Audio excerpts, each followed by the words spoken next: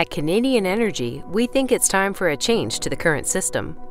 Remote communities need to be able to generate their own energy in a way that not only unburdens them from the cost and dependence brought on by diesel generators, but will also help preserve the environment they live in. Limited access to energy and the politicization of access to energy in remote communities has created and enforced a massive disparity in the quality of life available across the world. As costs in renewable energy continue to decrease, we have reached a point where this is no longer a nice idea for the future. This is a reality for today. This is why we created the Cub 2.0.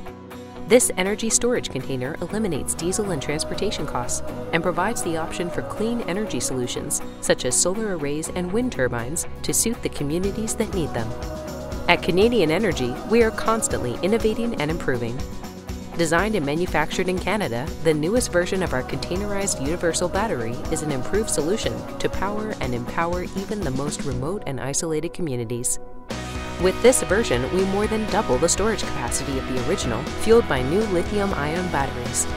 We also doubled the estimated lifespan of the system, with Cub 2.0 expected to last over 10 years, which is helpful considering it features 270 kilowatt hours of storage of 100% usable, consistent energy. Built-in fire suppression equipment add an extra layer of safety. Onboard wireless communication allows for data logging, remote monitoring, and diagnostics. Power electronics, battery banks, switchgear, circuit protection, and controls are all pre-installed and factory tested. Cub 2.0 is a simplified system that reduces the overall cost and complexity of installation.